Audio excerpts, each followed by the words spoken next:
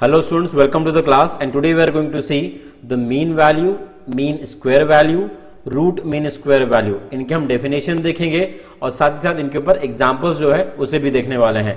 तो ये मेरा लेक्चर वन है ऐसे मैंने दो लेक्चर्स बनाए हुए हैं इस पर्टिकुलर टॉपिक के ऊपर। तो चलिए देखते हैं पहले डेफिनेशन इन सभी का। So first of all will see the definition of mean value तो मीन वैल्यू कैसे डिफाइन किया जाता है देखिए। The graph of the function y equals to f of x is drawn from x equals to a to x equals to b. Then the average height of the graph above the x axis is said to be the mean value. अब इसको मैं आपको geometrically समझाऊँगा कि ये actually है क्या करके। इसे हम ऐसा भी डिफाइन करते हैं। Mean value of the f of x equals to area under the curve upon length of the base अब एरिया अंडर द कर्व को हम मैथमेटिकली कैसे डिनोट करते हैं? It is integration a to b f of x d x मतलब integration के through हम denote करते हैं। लेंथ ऑफ़ द बेस बोल it is what b minus a अब जो हमें फ़ंक्शन डिफाइंड है, वो डिफाइंड है it is a to b के बीच में। देखिए, हम इसको ड्रॉ करते हैं। Okay consider it is what y axis and it is x axis और इस टू डायमेंशन में हम एक कर्व कंसिडर करते हैं। Suppose it is y equals to f of x suppose ये मेरी कर्व होगी y equals to f of x दो पॉइंट ले लेते हैं इट इज़ व्हाट ए और बी एक्स एक्सिस के ऊपर। और ये लाइन हम यहाँ पे ड्रॉ कर लेते हैं। Okay this from the a and as well as from it is what b तो हमने कर्व लिया that is in between it is what a to b ये मेरा कर्व हो गया that is y equals to f of x जो मैंने यहाँ पे डिफाइन किया हुआ है। इसको आप x equals to a line बोल सकते हैं, इसको आप x equals to b line बोल सकते हैं। अब देखिए एरिया अंडर द कर्व अगर मैं बात करता हूँ तो उसका मतलब क्या हो जाएगा? ये जो x equals to line a और x equals to line b है, उसके बीच का एरिया और कर्व और एक्स एक्सिस के बीच का एरिया इसे हम कहते हैं it is what area under the curve तो ये मैंने यहाँ पे डिफाइन किया is what area under the curve और इसको हम डिफाइन करते हैं by integration concept as integration a to b f of x and d x ठीक है? ये एरिया हो गया। अब लेंथ ऑफ़ द बेस मतलब इट इज़ व्हाट सब्ट्रैक्शन ले लेंगे बी माइनस ए तो आपको बेस का लेंथ मिल जाएगा। और इसे हम डिनोमिनेटर में लिखते हैं।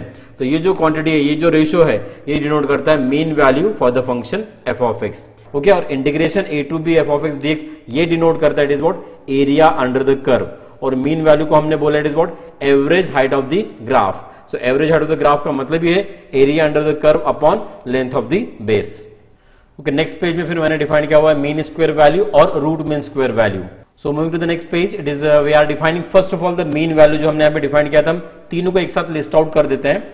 The mean value of the function F of X over the range A B is defined as M V equals to इसको हम मीन वैल्यू को एब्रीवेटेड फॉर्म में लिख देते हैं M dot V dot which is equals to integration a to b f of x d x upon b minus a जो हमने अभी डिफाइन किया था।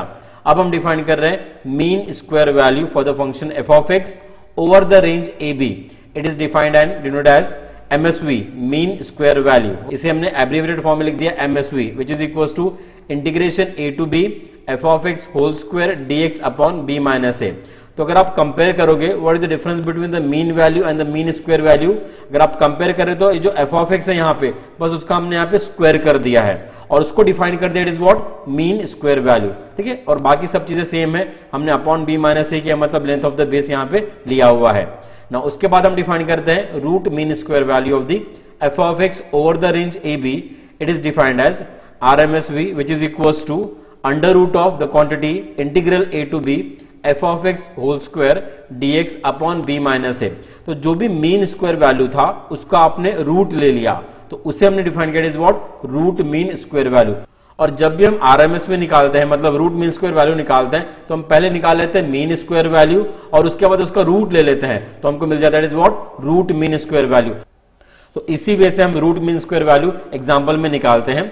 मीन वैल्यू का फॉर्मूला डिफरेंट है तो उसे हम सेपरेटली ही कैलकुलेट करते हैं हमेशा।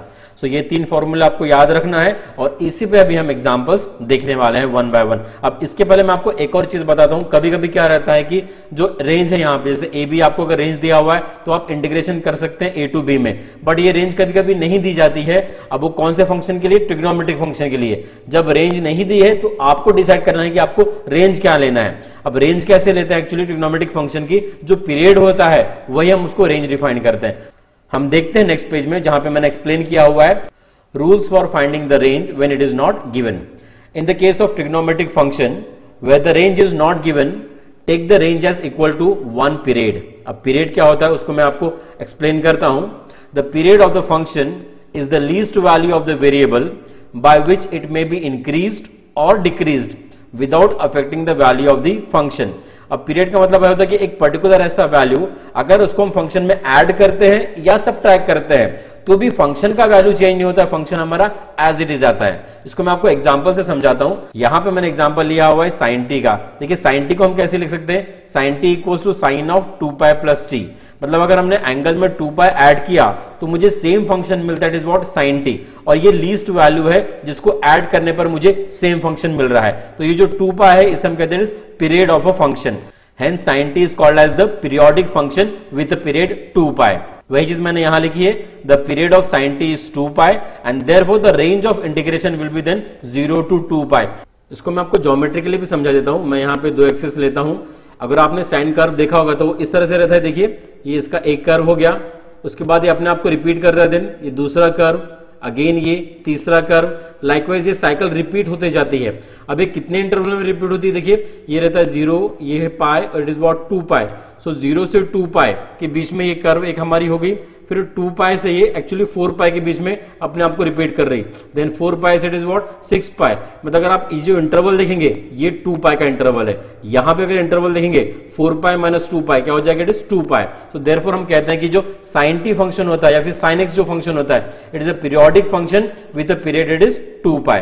वैसे अगर मैं कॉस की बात कर रहा हूँ तो कॉस को भी हम ड्रॉ करते हैं। सिमिलर रहता है बट कॉस ज़ीरो वन रहता है तो कॉस ज़ीरो वन रहता है तो आप ग्राफ को ऐसा ड्रॉ करते हैं। ओके और उसके बाद ये अपने आप को रिपीट करता है। लाइक वाइज साइन कर्व जैसे रिपीट करती है, वैसे ये भी कर्व रिपीट करता है।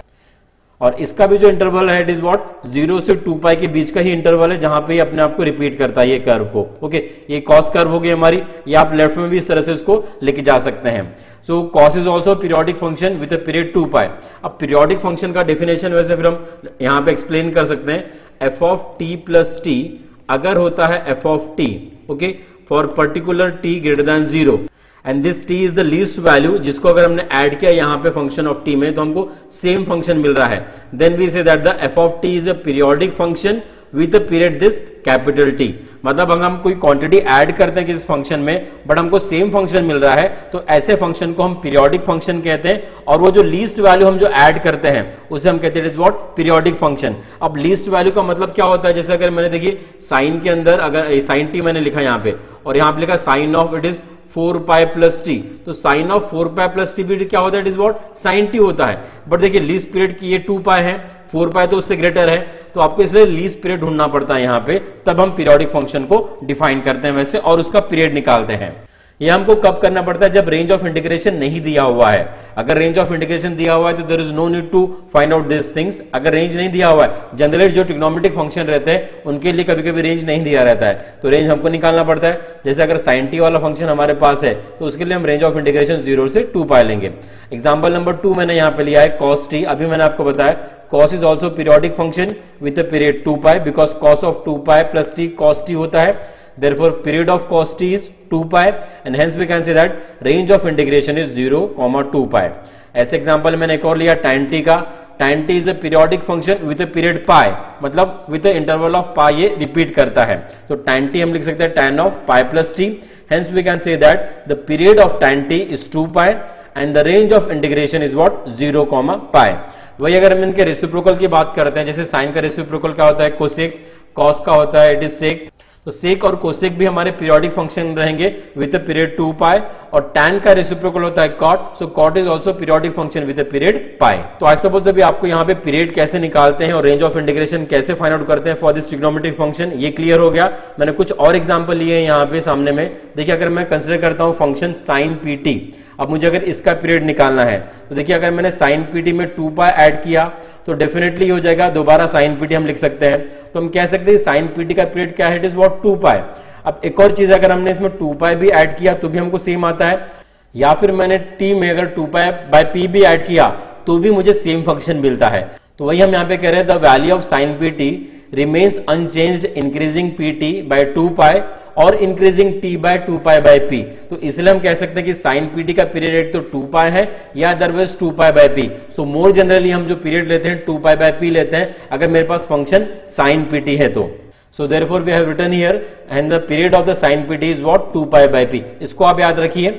उसके बाद similarly the period of cos p t is two pi by p and each of this case the range of integration will be 0 comma 2 pi by p. तो ऐसा एग्ज़ाम्पल हम सामने में एनकाउंटर करने वाले हैं तो इसको आपको याद रखना है बस। अगर साइन पीटी और कॉस पीटी आता है तो उसके लिए रेंज ऑफ़ इंटीग्रेशन होता है it is what zero comma two pi by p वैसे मैंने अलग अलग फ़ंक्शन के भी रेंज ऑफ़ इंटीग्रेशन यहाँ पे डिस्कस किए हुए हैं। जैसे यहाँ पे दो एग्ज़ाम्पल आपको मैंने बताया है। एक है साइन स्क्वायर पीटी इसका रेंज ऑफ़ इंटीग्रेशन होगा zero comma pi by p इसको मैंने एक्सप्लेन किया हूँ, इसको आप देख लीजिएगा। और वैसे ही sine p t sine q t, इसका रेंज ऑफ़ इंटीग्रेशन होगा it is what zero comma two pi और आपको मेनली याद रखना है साइन पी टी का रेंज ऑफ़ इंटीग्रेशन ये होगा zero comma two pi by p और same for it is what cos p t चलिए अब हम देखते हैं एग्ज़ाम्पल ओवर दिस टॉपिक्स अब पहला एग्ज़ाम्पल है यहाँ पे. Rod of length a is divided into the two part at random then prove that the mean value of the sum of the squares on this two segment is two by three a square अब आपने क्या किया? एक rod लिया. और rod का length आपको दिया हुआ it is what a so चलिए हम यहाँ पे एक रॉड ले लेते हैं rod of length a so एक मैंने रॉड यहाँ पे लिया रैंडमली और उसका लेंथ आपको दिया हुआ it is what rod is having the length a अब उसको अपने रैंडमली दो पार्ट्स में बांटा है। तो रैंडमली मतलब मैं यहाँ पे सपोज़ करता हूँ, दो पार्ट में बांट लिया हुआ है। और फिर बोल रहा है कि आप मेन वैल्यू निकालिए और उसको prove कीजिएगी। Sum of the squares on this two segment is what two by three a square ये उसका मेन वैल्यू होगा। सपोज़ रैंडमली हम इसको डिवाइड करते हैं दो पार्ट में तो सपोज़ मैंने एक एक्स ले लिया पार्ट हमारा ये वाला एक्स हो गया। तो दूसरा पार्ट क्या रहेगा मुझे बताइए? लेंथ ए है मेरा तो दूसरा पार्ट हम लेंगे it is what a minus x because अगर मैं दोनों का सम लूँगा तो वो मेरे पास ए आ जाएगा। ओके okay, तो ये मेरे हो गए दो पार्ट इसके। अब उसके बाद फिर आपको फिर फ़ंक्शन डिफाइन करना है। फ़ंक्शन क्या डिफाइन करना पड़ेगा? Sum of the squares on this two segments तो आपको इन दोनों का स्क्वायर लेना पड़ेगा और उनका सम मतलब x square plus a minus x whole square sum of the square on this two segment ये मेरा हो जाएगा it is what f of x so let start the solution the rod of length a is divided into the two part say x and a minus x जो हमने यहाँ बताया, और f of x हमने define कर दिया x square plus a minus x whole square अब इसको आप ओपन कर लीजिए। A minus x whole square को आप कैसे लिख सकते हैं it is what a square minus two x plus it is what x square इसे अगर आप यहाँ पे सिंप्लीफाई करेंगे तो x square and this x square ये हो जाएगा two x square plus a square minus it is two x ये हो गया मेरा एफ़ ऑफ़ एक्स अब इसके बाद मुझे निकालना है क्या? Mean value so mean value of the f of x over the range a b is defined as m b equal to integration a to b f of x d x upon it is b minus a ये हमने अभी देखा था mean value कैसे define करते हैं। अब यहाँ पे आपको ए और बी बस देखना कि क्या होंगे। सो so, यहाँ पे हमें दिया हुआ है कि रॉड का लेंथ ए है तो हम यहाँ पे जो इंटीग्रेशन लेंगे ज़ीरो टू ए लेने वाले हैं। मतलब आपका ज़ीरो हो जाएगा ए और बी मतलब हमारा ए हो जाएगा। और एफ़ ऑफ़ एक्स आपने ऑलरेडी यहाँ पे डिफाइन कर चुके हैं। Two x square plus a square minus it is what two a x तो उसको हमने यहाँ पे पुटअप कर दिया। ए टू बी हमने लिख दिया ज़ीरो टू ए और दोनों का सब्ट्रैक्शन ए माइनस ज़ीरो अब सिर्फ़ इंटीग्रेशन करना है और आपको आंसर आ जाएगा। एक्स स्क्वायर का इंटीग्रेशन हो जाएगा x cube by three d x का इंटीग्रेशन एक्स और एक्स का integration x square by two अब आप यहाँ पे अपर लिमिट और लोअर लिमिट पुटअप कर देंगे। तो यहाँ पे मुझे x को रिप्लेस करना पड़ेगा ए से। तो मैंने यहाँ पे a क्यूब कर देना है यहाँ पे a कर देना, यहाँ पे a स्क्वायर लोअर लिमिट अगर हम पुटअप करते हैं तो यहाँ पे ज़ीरो आ जाएगा, ये ज़ीरो आ जाएगा और ये ज़ीरो तो upper limit minus lower limit हमने यहाँ पे किया। It is a square a ये a इंटू ए स्क्वायर तो ये दो तो क्वांटिटी कैंसिल ही हो जाएगी हमारे पास तो बचेगा two by three a cube by three तो यहाँ पे देखिए एक ए भी कैंसिल हो रहा है ए कैंसिल हो गया it is what two by three a square ये आ गई mean value for the given function और यहाँ पे आपको मीन वैल्यू बोला था two by three a square prove करने के लिए, जो हमने यहाँ पे प्रूव कर दिया है. तो वेरी सिंपल देखिए फॉर्मूला था, बस आपको अप्लाई करना था. फ़ंक्शन बस आपको यहाँ पे नहीं था रिफाइन तो इसलिए हमने डिफाइन किया. और रेंज भी नहीं था डिफाइंड यहाँ पे तो रेंज भी हमने डिफाइंड किया it is what zero to a and then accordingly just applying the formula we got the answer now the example number two show that the mean value of k x l minus x between the zero to l is the two third of its maximum value मतलब आपको mean value तो निकालना ही है यहाँ पे maximum value भी निकालनी पड़ेगी और शो करना पड़ेगा कि इस फ़ंक्शन का जो मीन वैल्यू है it's two third of its maximum value so चलिए स्टार्ट करते हैं। फ़ंक्शन को हमने लिखा it is what k x l minus x अब आपने पहले मल्टीप्लाई कर देना है ब्रैकेट ओपन कर लेना है। तो इसको हम लिखेंगे k l x minus k x square x into x हो जाएगा एक्स स्क्वायर ये हो गया। अब मीन वैल्यू पहले हम निकाल लेते हैं। तो mean value over the range a b is defined as integration a to b f of x d x upon b minus a अब यहाँ पे आप ए और बी को आइडेंटिफाई कर लीजिए। अच्छा यहाँ पे आपको लिमिट्स दी है it is about zero to l इसके बीच आपको मीन वैल्यू निकालना है। तो ये आपका ए होगा, या आपका बी होगा। तो नेक्स्ट टाइम में आप लिख सकते हैं it is about zero to l then function डाल दिया it is what k l x minus k x square d x then b minus m मतलब it is what l minus zero simple है integration x का हो जाएगा x square by two इसका x cube by three इसको हमने यहाँ पे लिख दिया। Upper limit minus lower limit कर देंगे। एक्स की जगह पे पहले आप एल पुट अप करेंगे बाद में ज़ीरो पुटअप करेंगे। सो so, यहाँ पे एक्स के पे आपने एल पुट अप कर दिया है और उसके बाद ज़ीरो ज़ीरो यहाँ पे सब्सिट्यूट कहते तो ज़ीरो आने वाला है लोअर लिमिट अब इसको सिंप्लीफाई कर देते हैं ये हो जाएगा एल क्यूब ये भी आ जाएगा it is what l cube already हमारे पास है। अब कॉमन क्या निकल जाएगा यहाँ से? के एल क्यूब तो ब्रैकेट में बचेगा one by two minus one by three cross multiply कर दीजिए ये हो जाएगा वन बाई सिक्स और यहाँ पे देखिए एक एल भी कैंसिल हो जा रहा है। तो हो जाएगा one by six k l square ये आ गई मेरी मीन वैल्यू अब मुझे निकालना पड़ेगा इसकी मैक्सिमम वैल्यू मैक्सिमम वैल्यू निकालने के लिए हम क्या करेंगे?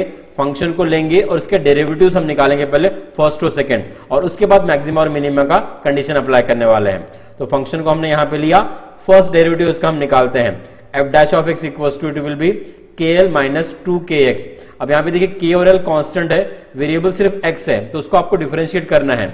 एक्स का डेरिवेटिव वन और एक्स स्क्वायर का is what two x second derivative भी निकाल लेते बिकॉज़ हमको इसका यूज़ करना पड़ता है। तो के का डेरिवेटिव हो जाएगा zero because it is constant और एक्स का डेरिवेटिव वन बचा माइनस टू के यहाँ पे। अब फॉर मैक्सिमा एंड मिनिमा हम क्या करते हैं? जो फ़र्स्ट डेरिवेटिव होता है, उसे इक्वेट करते हैं हम ज़ीरो से। तो यहाँ पे हमने इसको ज़ीरो से इक्वेट किया तो के एल माइनस जो टू है, उसको आप इक्वेट करेंगे ज़ीरो से। अब इस क्वांटिटी को हम ऐसा भी लिख सकते हैं two k x equal to k l यहाँ से के के हमारे कैंसिल हो जाएँगे। के के कैंसिल होने के बाद एक्स का वैल्यू हो जाएगा it is what l by two इसको हम लिख सकते हैं। ये आ गया मेरा स्टेशनरी वैल्यू अब इस वैल्यू पे मैं सेकंड डेरिवेटिव की वैल्यू चेक करूँगा कि वो निगेटिव आती है कि पॉजिटिव तो अगर मैं x equal to l by two यहाँ पुटअप करता हूँ तो f double dash of l by two आता है माइनस टू के अब कोई x का टर्म तो है ही नहीं तो ये आ जाएगा माइनस टू के यहाँ पे। तो ये होगी निगेटिव वैल्यू अगर ये निगेटिव आता है तो फ़ंक्शन मेरा क्या रहता है? Maximum maximum at this point that is x equal to l by two अब फ़ंक्शन तो मैक्सिमम आ गया, अब मैक्सिमम वैल्यू निकालेंगे हम इसका। तो मैक्सिमम वैल्यू निकालने के लिए आप ये जो एक्स है एल बाई टू इसको आप पुटअप कर देंगे एफ़ ऑफ़ एक्स के अंदर। तो देरफोर हम लिख सकते हैं इसको it is what k l l by two then minus k l by two का स्क्वायर आपने x के जगह पे l बाय टू रिप्लेस कर दिया है. अब सिंप्लीफाई कर दीजिए. पहला टर्म लिखेंगे हम एल स्क्वायर बाई टू और दूसरा हो जाएगा एल स्क्वायर बाई फोर जिसमें के एल स्क्वायर आप बाहर निकाल सकते हैं one by two minus one by four बचा।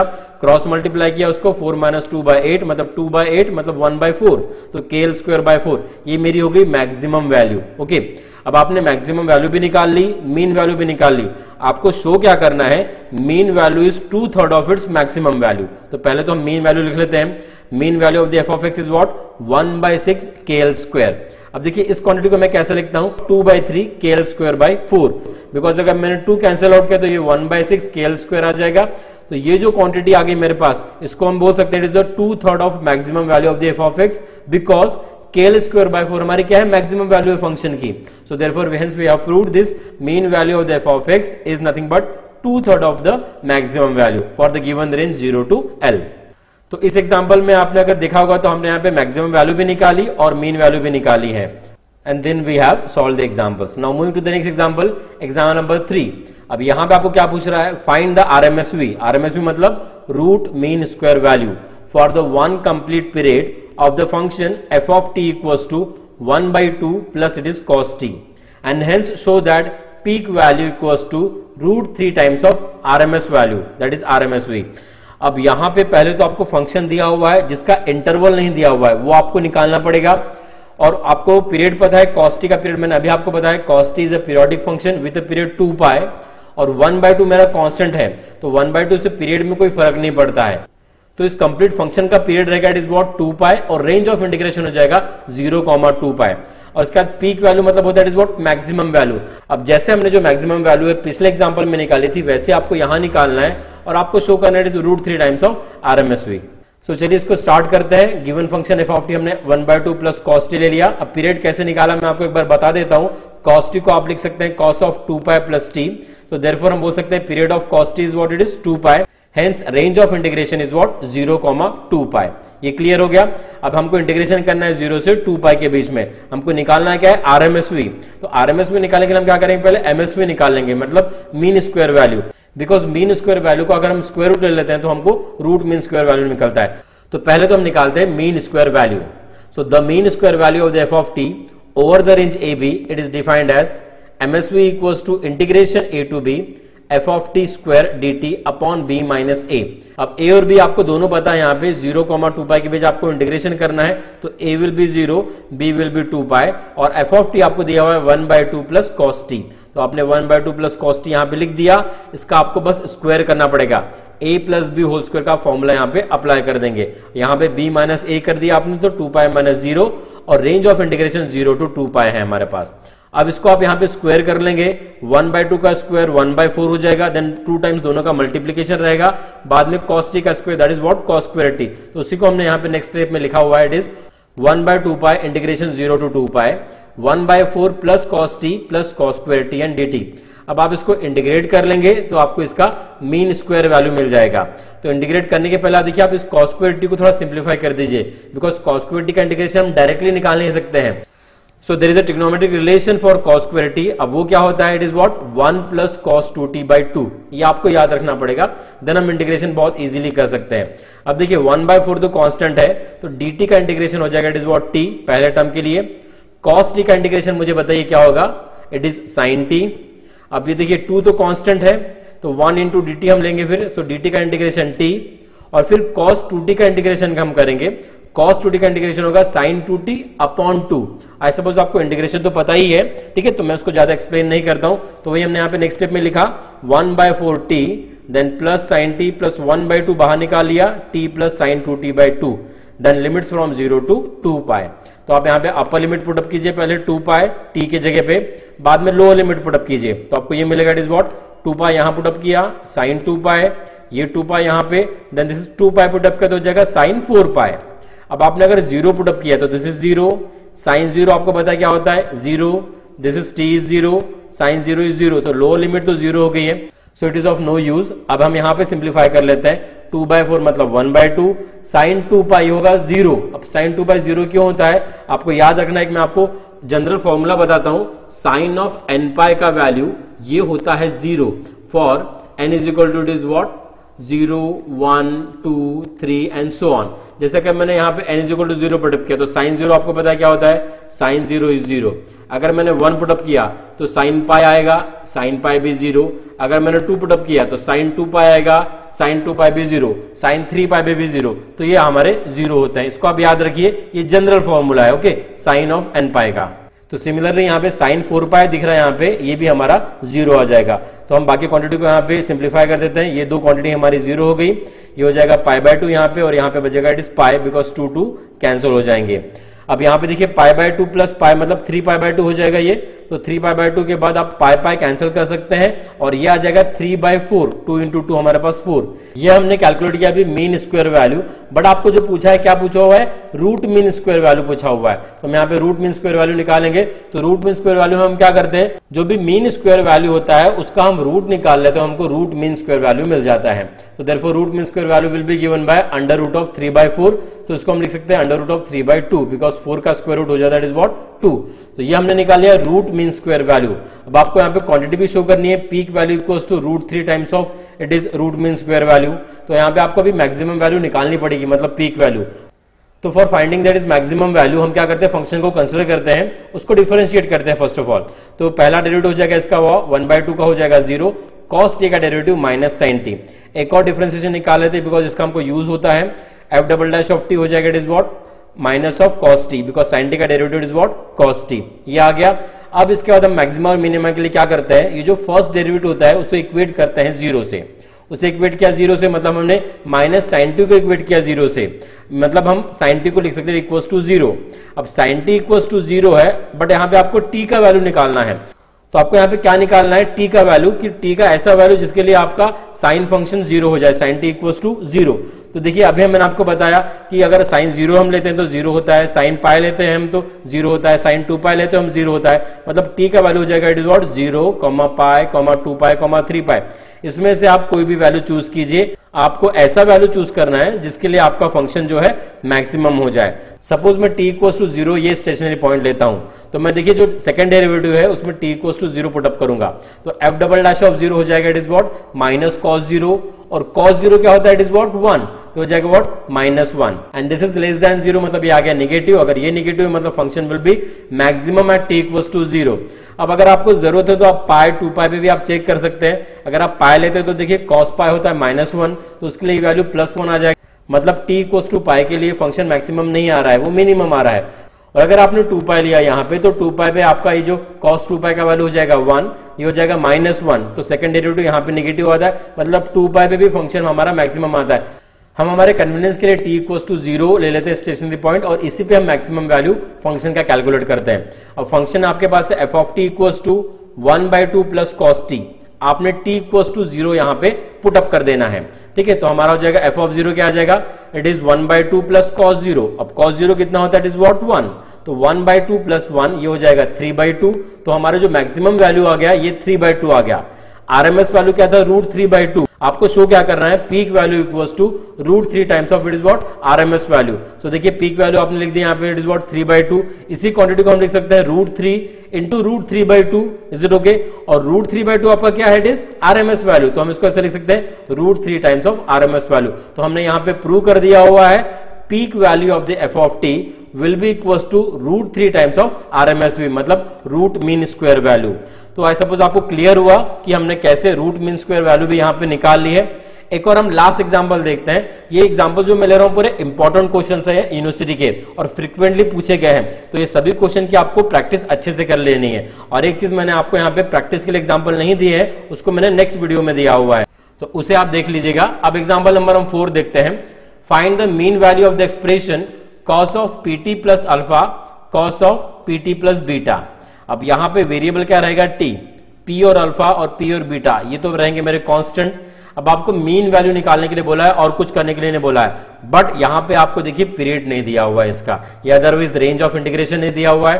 तो रेंज ऑफ़ इंटीग्रेशन हमको यहाँ पे निकालना पड़ेगा। तो हम इसको कैसे निकालेंगे देखिए। मैं देखिए cos of pt plus alpha इसको लेता हूँ और इसमें अगर मैं पाए ऐड करता हूँ इसके एंगल में मतलब cos of pi plus pt plus alpha ये आता है minus cos of pt plus alpha is it okay वही अगर मैंने cos of pt plus beta लिया, इसमें अगर मैंने एंगल में पाई ऐड किया मतलब cos of pi plus pt plus beta ये होता है minus cos of pt plus beta by the trigonometric rule ये आपको पता होगा। अब देखिए, अगर मैं इन दोनों का मल्टीप्लीकेशन लिया, अगर मैंने इन दोनों का मल्टीप्लीकेशन लिया तो इन दोनों का मल्टीप्लीकेशन होगा। इन दोनों का मल्टीप्लीकेशन होगा मतलब ये माइनस माइनस हो जाएगा इज़ वॉट प्लस ओके तो मुझे देखिए, अगर मैंने पाई ऐड करता हूँ दोनों के एंगल में तो मुझे सेम फ़ंक्शन मिल रहा है। तो पाई ऐड करने पर अगर मुझे सेम फ़ंक्शन मिल रहा है तो इसलिए मैं बोल सकता हूँ, ये जो गिवन फ़ंक्शन ऑफ़ टी है, उसका पीरियड रहेगा पाए आपको पता है कि cos is a periodic function with period two pi but यहाँ पे आपको प्रोडक्ट ऑफ़ टू फ़ंक्शन दिया हुआ है तो इसलिए आपको फिर वैसे पीरियड कैलकुलेट करना पड़ता है. तो इसलिए हमने यहाँ पे दोनों को सेपरेटली लिया और उसमें फिर पाए ऐड किया यहाँ पे, और हमको फिर सेम फ़ंक्शन मिल रहा है. इसलिए हम बोल सकते हैं कि ये जो given function it is a periodic function with period it is what pi यहाँ पे आप ऑब्ज़र्व कीजिए एंगल में पीटी प्लस अल्फ़ा है पीटी प्लस बीटा है ओके तो पीटी जब रहता है, जैसे मैंने आपको बताया था कि साइन पीटी होता है, तब उसका हम पीरियड कैसे लिखते हैं? Two pi by p cos pt जो रहता है तो उसका पीरियड कैसे लिखते हैं? Is about two pi by p अब यहाँ पे देखिए कॉस पीटी प्लस अल्फ़ा है और कॉस पीटी प्लस बीटा है। तो यहाँ भी जो हम पीरियड लेंगे, उसको हम लेंगे पाई बाई पी तो उसी को मैंने यहाँ पे लिखा हूँ। The given function remain unchanged by increasing pt by it is what pi. That is by increasing t by it is what? Pi by p. Therefore we can say that the period of given function is pi by p and range of integration will be it is what? 0 comma pi by p तो ये आपको निकालते आना चाहिए given function का कि हम period कैसे निकालते हैं। तो इसको आपको मैंने स्टार्टिंग में भी समझाया हुआ है और जैसे जैसे एग्ज़ाम्पल आएँगे, आप इनका प्रैक्टिस कीजिएगा बिकॉज़ जो मैं क्वेश्चन ले रहा हूँ, वही क्वेश्चन आपके यूनिवर्सिटी एग्जामिनेशन में आने वाला है। तो इनका आप अच्छे से प्रैक्टिस कर लीजिए तो आपको पीरियड कैसे निकाला जाता है, इसमें आपको दिक्कत नहीं रहेगी। तो चलिए अब निकालते हैं मीन वैल्यू मीन वैल्यू का मैंने आपको फॉर्मूला बताया हूँ ऑलरेडी तो अभी हम उसको दोबारा नहीं लिखते हैं. मीन वैल्यू में आपका ए ज़ीरो हो जाएगा बी हो जाएगा पाई बाय बी तो आप इंटीग्रेशन कर देंगे zero to pi by b और अपॉन में बी माइनस ए हम लेते हैं तो यहाँ पे लिख देंगे pi by p minus it is what zero और ये मेरा फ़ंक्शन हो जाएगा cos p t plus alpha cos p t plus beta and this is what d t अब देखिए, ये दोनों प्रोडक्ट में है तो इसका इंटीग्रेशन तो हम डायरेक्टली नहीं कर सकते हैं। तो फिर से अभी हमको यहाँ पे टिक्नोमेट्रिक रिलेशन अप्लाई करना पड़ेगा। कौन सा वाला? कॉस इंटू कॉस जहाँ पे हमारा मल्टीप्लीकेशन होता है। ये formula two times of cos a cos b ये होता है cos of a plus b plus cos of a minus b मतलब ये हमारा ए हो गया पीटी प्लस अल्फ़ा और पीटी प्लस बीटा हमारा हो गया इज़ वॉट बी तो पहले तो हम इन दोनों का एडिशन करेंगे, बाद में दोनों का सब्ट्रैक्शन करेंगे. अब देखिए टू टाइम्स है ये तो ये टू नीचे में चले जाएगा. तो इसको हम लिख सकते हैं is what one by two यहाँ पे. और ये जो पाई बाय पी है, इसको हमने ऊपर में लेके तो जगह पी बाय पाई ओके और बाद में ब्रैकेट में हमने लिखा it is what cos of a plus b मतलब pt plus alpha pt plus beta इसको हमने लिख दिया two pt plus alpha plus beta बाद में हमने ए माइनस बी किया. Pt plus alpha minus pt plus beta pt pt get cancel यहाँ बचेगा cos of alpha minus beta और हमको यहाँ पे टी से इंटीग्रेट करना है। अब ये दो क्वांटिटी हमारे पास आ रही है, जिसको आपको टी से इंटीग्रेट करना है। तो अगर आप ऑब्ज़र्व करेंगे तो जो पहला टर्म है, इसमें टी है। बट सेकेंड टर्म में टी नहीं है। मतलब इसको हम कॉन्स्टेंट ट्रीट करेंगे। Cos of alpha minus beta तो हमको सिर्फ़ टी का इंटीग्रेशन लेना पड़ेगा that will be it is t only और यहाँ पे आपको कॉस का इंटीग्रेशन लेना पड़ेगा, वो हो जाएगा इट इज़ वॉट साइन और उसके बाद अपॉन करना पड़ेगा जो भी टी का हमारे पास कोइफिशियंट है upon it is what two p because हम बाद में एंगल का डिफ्रेंसिएशन लेते हैं और उसको डिनोमीटर में हम यहाँ पे लिखते हैं.